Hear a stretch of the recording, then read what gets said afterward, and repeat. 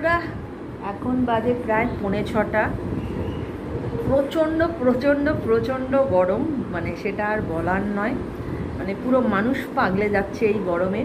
বিকেলবেলাটা দেখলাম একটু ওয়েদারটা একটুখানি থমথমে হয়েছে, মনে হচ্ছে একটু বৃষ্টি হবে। আমি তো ঈশ্বরকে বলছি, হে ঈশ্বর, একটু বৃষ্টি দাও। কেননা কত রাস্তায় কত গরিব মানুষ কত কষ্ট পাচ্ছে, কত পশু পাখিরা আছে যারা কষ্ট পাচ্ছে। সত্যি। মানে প্রচণ্ড গরম পড়েছে, প্রচণ্ড গরম পড়েছে। মানে আমার কুকুরগুলোর কষ্ট হচ্ছে, সবসময় তো আর এসিতে থাকা সম্ভব নয়, তো তাহলে তো চচ্চর করে বিল চড়বে, তো সেটাও তো সম্ভব নয়। তো কিন্তু মানে না টেকা যাচ্ছে না, টেকা যাচ্ছে না।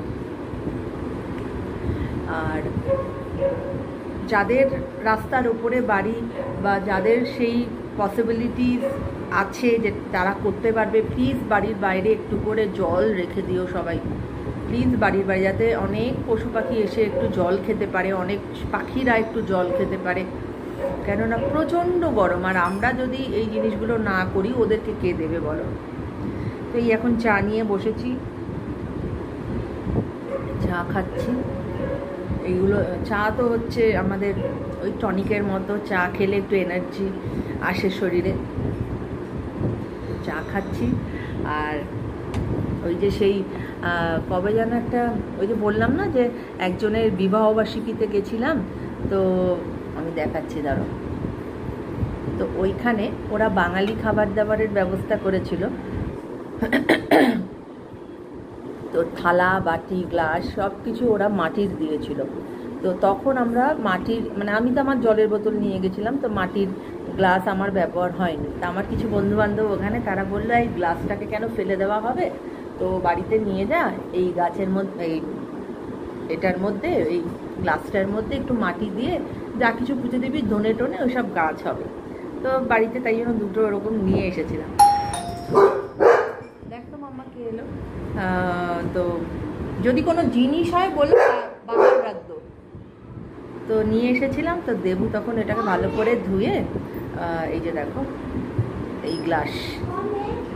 উফ, বাবা, বিশ্বাস করবে না, কি ঠান্ডা। মানে ফ্রিজকেও হাড় মানাবে, ফ্রিজকেও হার মানাবে এরা।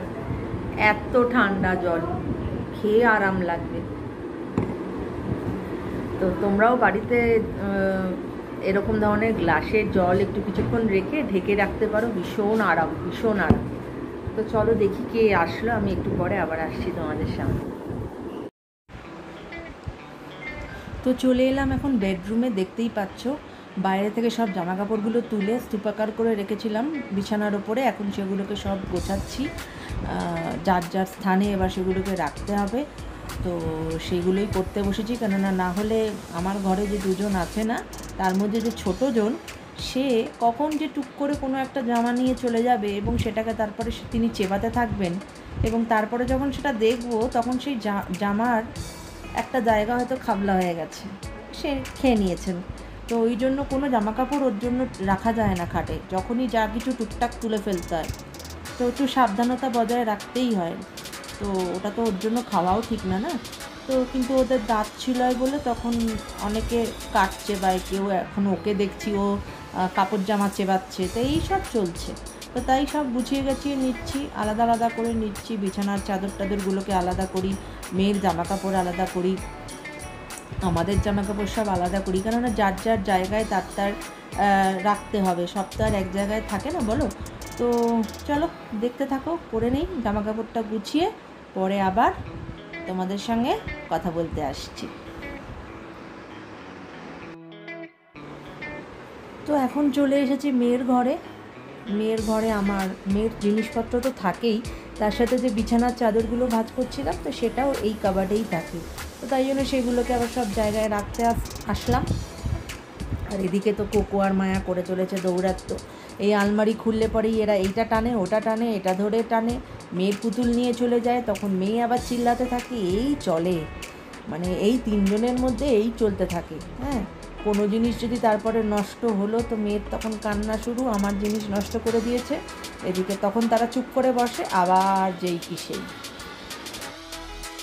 তো তোমরা তো দেখলেই তখন যে সব ঘর দোর পরিষ্কার টরিষ্কার করলাম জামা কাপড়গুলোকে সব যে যার জায়গায় তুললাম।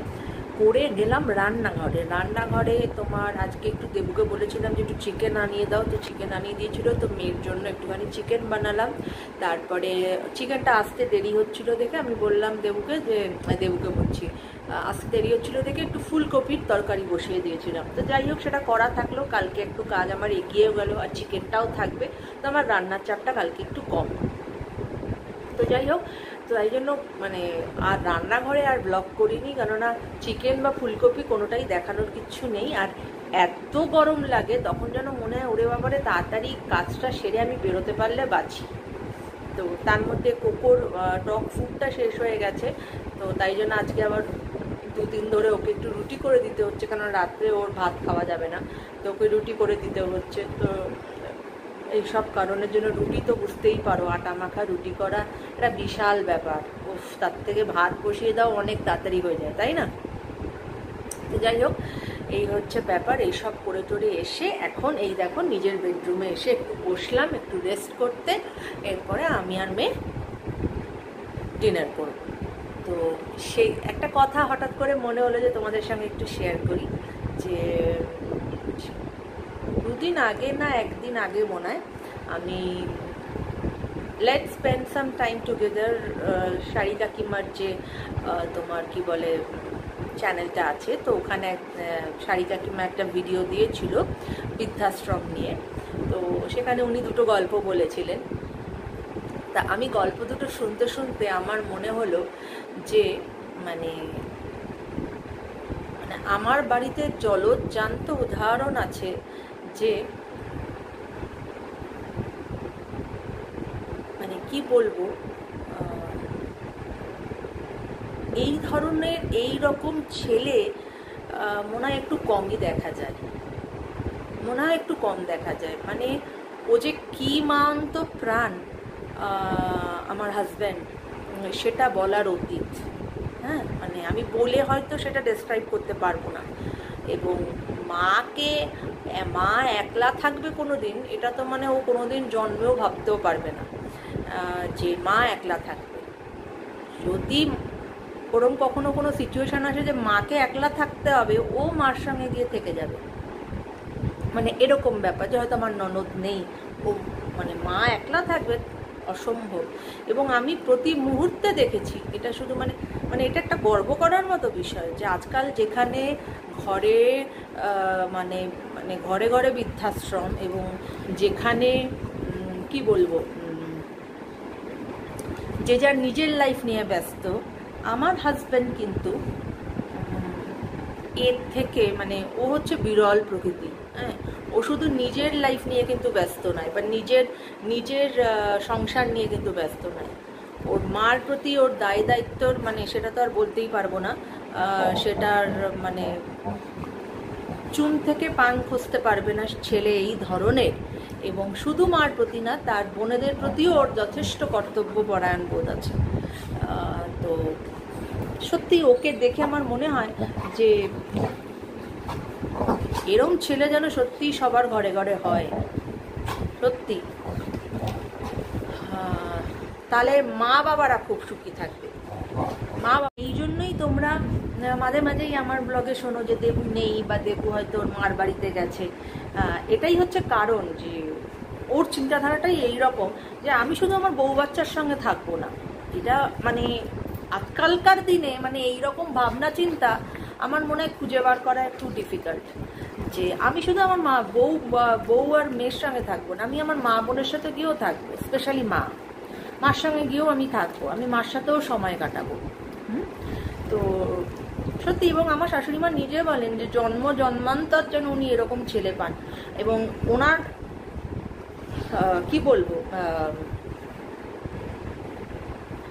সত্যি, উনি মা হিসাবে খুব ভাগ্যবান, ভাগ্যবতী বলতে হবে মা হিসাবে, এবং সত্যি এই রকম ছেলে দেখা যায় না। আজকালকার দিনে দেখা যায় না। আমার মনে হয় এটা আমি সারি কাকিমার কন্টেস্টে এই কথাটা বললাম, আমার মনে হলো এটা আমি শেয়ার করলাম। তবে আমার মনে হয় সংসারে থাকতে গেলে প্রপার ব্যালেন্স করে চলতে হয়। দুদিকেই ব্যালেন্স করে তোমাকে চলতে হবে। দাড়িপাল্লাটা যেন সব দিকেই সমান থাকে, শুধু একদিকে থাকল আর আরেক দিকে থাকল না, সেটা যেন না হয়। তাহলে সংসারে অশান্তি কম হবে, তাই না? তো যাই হোক মূল বক্তব্য হচ্ছে এটাই যে বৃদ্ধাশ্রম নিয়ে সেদিনকে শাড়ি কাকিমা বলছিল, তাই তোমাদের মনে হলো যে এটা সত্যি তোমাদের সঙ্গে শেয়ার করার মতো। কেননা ভালো জিনিস ভালো ছেলে যখন, তখন তার কথা তো একটু বলতেই হয়, তাই না? তো চলো, আজকের মতো ব্লগটা তাহলে আমি এখানেই শেষ করছি। সবাই ভালো থেকো, সুস্থ থেকো, সাবধানে থেকো, ও আমার ব্লগ দেখতে থেকো। Good night